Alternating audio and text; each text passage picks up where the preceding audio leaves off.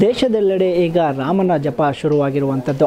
ಮೈಸೂರು ಏನು ಜನವರಿ ಇಪ್ಪತ್ತೆರಡರಂದು ಅಯೋಧ್ಯೆಯಲ್ಲಿ ಪ್ರ ಪ್ರಾಣ ಪ್ರತಿಷ್ಠಾಪನೆಗೊಳ್ಳಲಿರುವ ಶ್ರೀರಾಮನ ಮೂರ್ತಿಯನ್ನು ಕೆತ್ತಿದ್ದು ಮೈಸೂರಿನ ಹೆಮ್ಮೆ ಹೆಮ್ಮೆ ಅರುಣ್ ಯೋಗಿರಾಜ್ ಅಂತ ಹೇಳ್ಬೋದು. ನನ್ನ ಜೊತೆ ಈಗ ಅರುಣ್ ಯೋಗಿರಾಜ್ ಅವರ ತಾಯಿ ಇದ್ದಾರೆ. ಬನ್ನಿ ಮಾತಾಡ್ಸ್ತಾ ಹೋಗ್ತೀನಿ. ಅಮ್ಮ ಮೊದಲನೇದಾಗಿ ನಮಸ್ಕಾರ ಅಮ್ಮ. ನಮಸ್ತೆ. ಅಮ್ಮ ನಮಸ್ತೆ. ದೇಶಾದ್ಯಂತ ಈಗ ನಿಮ್ಮ ಮಗನ ಹೆಸರೇ ಓಡ್ತಾ ಇರುವಂಥದ್ದು. ಅಯೋಧ್ಯೆಯಲ್ಲಿ ಈಗ ನಿಮ್ಮ ಮಗ ಕೆತ್ತಿರುವಂಥ ರಾಮಲಲ್ಲ ಮೂರ್ತಿಯೇ ಪ್ರಾಣ ಪ್ರತಿಷ್ಠಾಪನೆಗೊಳ್ಳುವಂಥದ್ದು ಹೇಗೆ ಅನ್ನಿಸ್ತಿದೆ ಅಮ್ಮ? ಇಡೀ ಕಿ ದೇಶವೇ ಕೀರ್ತಿ ತರುವಂಥ ಕೆಲಸ ಮಾಡಿದ್ದಾನೆ ಮತ್ತು ಅವನು ತುಂಬಾ ಶಾಂತಿ ಸ್ವಭಾವ. ಮತ್ತು ಯಾರು ಮೂರು ಜನದಲ್ಲಿ ಕೆಲಸ ಮಾಡಿರ್ತೀನಿ, ನಂದೇ ಅಂತೇನು ಹೇಳ್ಕೊಳ್ತಿರ್ನಿಲ್ಲ.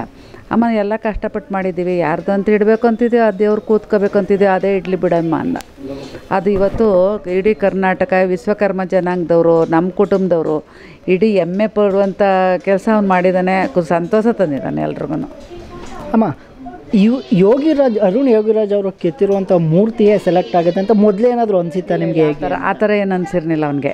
ಆ ಥರ ಸ್ವಭಾವನೂ ಇಲ್ಲ. ಆ ಥರ ನಾನದೇ ಇಡಬೇಕು. ಮತ್ತು ಅವ್ರದ್ದೇ ಇಡಬೇಕು ಅಂತ ಟೀಕೆ ಮಾಡಿದವನೇ ಅಲ್ಲ ಮೊದಲಿಂದನೂ ಅಷ್ಟೇ ಅಮ್ಮ ನಾವು ಕಷ್ಟಪಡ್ತೀವಿ ಅವರು ಕಷ್ಟಪಡ್ತಾರೆ. ದೇವ್ರು ಯಾವುದು ಅಂತ ಕೂತ್ಕೋಬೇಕಂತಿದೆಯೋ ಅದು ಕೂತ್ಕೊಳ್ಳುತ್ತೆ ಅಂತ. ಅಮ್ಮ ಬಾಲ್ಯದಿಂದಲೂ ಅರುಣ್ ರಾಜ್ ಈ ಅರುಣ್ ಯೋಗಿರಾಜ್ ಅವರ ಆಸಕ್ತಿ ಅಂದರೆ ಇದ್ರ ಮೇಲೆ ಕೆ- ಮೂರ್ತಿ ಕೆತ್ತನೆ ಇದ್ರ ಮೇಲೆ ಇತ್ತಾ ಅಥವಾ ಅದನ್ನು ಹೊರತುಪಡಿಸಿ ಬೇರೆ ಯಾವ್ದ್ರ ಮೇಲಾದರೂ ಇತ್ತ ಅನ್ನುವಂಥದ್ದು? ಓದೋದು ಓದೋದು ಮಾಡ್ತಿದ್ದ. ಅಲ್ಲಿಂದ ಬಂದು ಟೈಮು ಇದ್ದಾಗ ಈ ಕೆಲಸನೂ ಮಾಡ್ತಿದ್ದ. ಈಗ ಅಮ್ಮ ನರೇಂದ್ರ ಮೋದಿ ಅವರು, ಈಗ ಅರುಣ್ ರಾಜ್ ಅವ್ರು ಏನು ಯೋಗಿರಾಜ್ ಅವ್ರು ಕೆತ್ತಿರುವಂತಹ ಮೂರನೇ ಮೂರ್ತಿ ಇದು. ಇನ್ನೆರಡು ಶಂಕರಾಚಾರ್ಯ ಮೂರ್ತಿ ಆಗಿರ್ಬೋದು, ಇನ್ನೊಂದು ಮೂರ್ತಿಯನ್ನು ಕೂಡ ಮೋದಿ ಅವರೇ ಉದ್ಘಾಟನೆ ಮಾಡಿದ್ದಂಥದ್ದು. ಈಗ ದೇಶವೇ ಹೆಮ್ಮೆ ಪಡುವಂತಹ ರಾಮಲಲ್ಲ ಮೂರ್ತಿಯನ್ನು ಕೂಡ ಅವರೇ ಉದ್ಘಾಟನೆ ಮಾಡ್ತಾರೆ. ಹೇಗೆ ಅನ್ನಿಸ್ತಿದೆ ನಿಮಗೆ?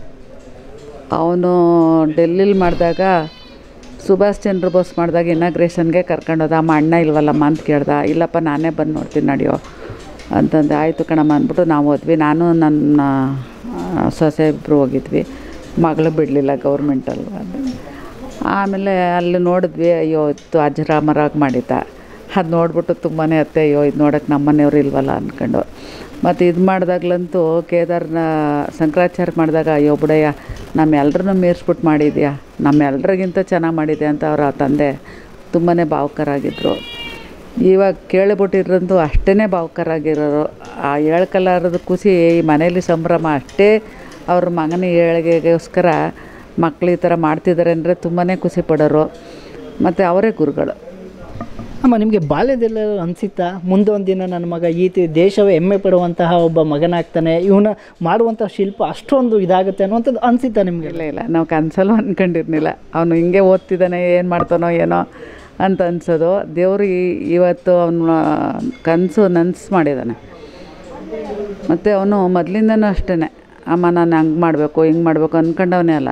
ದೇವ್ರು ಏನು ಕೊಡ್ತಾನೆ ಅದ್ರಲ್ಲಿ ಅದರಂತೆ ನಡೆಯಬೇಕಣಮ್ಮ ಅಂತ ಹೇಳೋನು ಅಮ್ಮ, ಈಗ ಒಂದು ಮೂರ್ತಿ ಕೆತ್ತನೆ ಅಂತ ಬಂದಾಗ ಕೆಲವೊಂದು ಅದು ಶಾಸ್ತ್ರೋತ್ತಗಳು ಫಾಲೋ ಮಾಡೋ. ಏನೆಲ್ಲ ಮಾಡಬೇಕು ಅಮ್ಮ? ಅಯ್ಯೋ, ಒಂದು ಕಲ್ಲು ಮೂರ್ತಿ ಮಾಡಬೇಕು ಅಂದರೆ ಅದನ್ನು ಕಲ್ಲನ್ನು ತರಬೇಕು.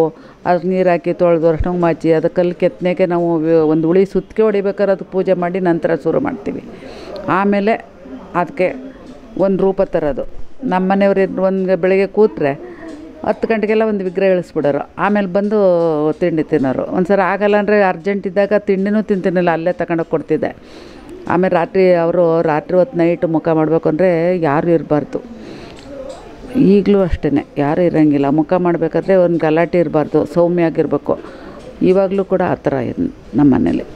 ಅಮ್ಮ ಅರುಣ್ ಯೋಗರಾಜ್ ಅವರ ತಂದೆ ಏನಾದರೂ ಟಿಪ್ಸ್ ಕೊಡ್ತಿದ್ರ? ಮಗನಿಗೆ ಈ ಥರ ಮಾಡಬೇಕು ಮಗನೇ ಈಗಿರಬೇಕು ಅನ್ನುವಂಥದ್ದು ಯಾವುದಾದ್ರು? ಹಾಂ ಮೊದಲಿಂದನೂ ಅಪ್ಪ ನೋಡು ನಾನು ಮಾಡೋದ್ರಲ್ಲಿ ತಿಳ್ಕೊಳಯ್ಯ ನೀನು ಈ ಥರ ನಮ್ಮ ತಂದೆ ನನಗೆ ಹೇಳ್ಕೊಡ್ತೀನಿ ನಾನು ನಿನ್ಗೆ ಹೇಳ್ಕೊಡ್ತೇನೆ ಈ ಥರ ಹಿಂಗಿರಬೇಕು ಎಲ್ಲ ಹೇಳ್ಕೊಡ್ತಿದ್ರು. ಅವರನ್ನೇ ಗೈಡ್ ಅಮ್ಮ ಈಗ ಫೈನಲ್ ಆಗಿ ಶ್ರೀರಾಮ ಮಂದಿರ ಪ್ರತಿಷ್ಠಾನ ಟ್ರಸ್ಟ್ನವರು ಅರುಣ್ ಯೋಗಿರಾಜ್ ಅವರ ಕೆತ್ತಿರುವಂತಹ ರಾಮಲಲ್ಲ ಅದು ಆ ಮೂರ್ತಿಯ ಫೈನಲ್ ಅಂತ ಅನ್ನಿಸ್ದಾಗ ಮನೆಯವರಲ್ಲಿ ಖುಷಿ ವಾತಾವರಣ ಹೇಗಿತ್ತು? ತುಂಬಾ ಖುಷಿ ಪಡ್ತಾ ಇದ್ದೀವಿ ಮೊ ಒಂದನೇ ತಾರೀಕನ್ನು ಈ ಖುಷಿ ಅಜರಾಮರವಾಗಿದೆ ಎಲ್ರಿಗೂ ಇಡೀ ವರ್ಲ್ಡ್ ಇಡೀ ನಮ್ಮ ವಿಶ್ವಕರ್ಮ ಜನಾಂಗದವರಾಗಿರ್ಬೋದು ನಮ್ಮ ಮಾವ- ನಮ್ಮ ಮಾವಯ್ಯನವರು ಮುತ್ತಲ್ವಾಡಿ ಕೆಬ್ಬೆಹುಂಡಿಲಿ ಅಲ್ಲಿ ಖುಷಿ ಪಡ್ತಿದ್ದಾರೆ. ಎಲ್ಲ ಕಡೆನೂ ಇಡೀ ಪ್ರಪಂಚನೇ ಖುಷಿ ಪಡುವಂಥ ವಿಷಯ ಇವತ್ತು ನಮ್ಮದಾಗಿದೆ ಅಮ್ಮ ಫೈನಲ್ ಆಗಿ ಅಮ್ಮ ನಾನು ಹೇಳಿ. ಅಯೋಧ್ಯೆಗೆ ಇಪ್ಪತ್ತೆರಡನೇ ತಾರೀಕು ನೀವೊಂದು ಫ್ಯಾಮಿಲಿ ಹೋಗ್ತಾ ಇದ್ದೀರಾ ಹೇಗೆ? ಇಲ್ಲ ಎಲ್ಲರೂ ನಮ್ಮ ಅಯೋಧ್ಯೆಯಲ್ಲಿ ರಾಮನೇ ಇಲ್ಲ ಅಲ್ಲೇ ಇದ್ದಾನಲ್ಲ. ಎಲ್ಲ ಮುಗಿದ್ಮೇಲೆ ಹೋಗ್ತೀವಿ. ಇದಿಷ್ಟು ರಾಮಲಲ್ಲ ಮೂರ್ತಿಯನ್ನು ಕೆತ್ತಿರುವಂತಹ ಅರುಣ್ ಯೋಗಿರಾಜ್ ಅವರ ತಾಯಿ ಸರಸ್ವತಿ ಅವರ ಮಾತುಗಳು. ಕ್ಯಾಮ್ರಾ ಪರ್ಸನ್ ಅರ್ಜುನ್ ಜೊತೆ Anand K S Rajyadharma news Mysuru.